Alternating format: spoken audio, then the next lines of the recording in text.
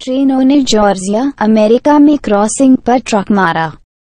Georgia के US राज्य में तीन दिनों की अवधि में दो अलग अलग ट्रेनों ने रेल क्रॉसिंग पर लटके हुए लॉरीज को तोड़ दिया है। दोनों वाहन चालकों को अपने वाहनों से पहले भागने में सक्षम थे।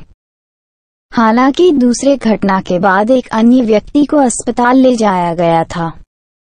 एक ट्रेन के ड्राइवर यूएस में एक ट्रक जॉर्जिया में टकराव के बाद भागने के लिए भाग्यशाली थे।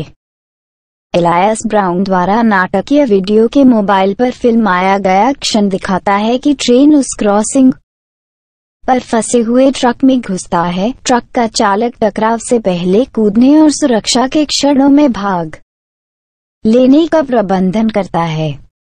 ट्रेन के चालक दल को भी चोट लगने की सूचना मिली थी।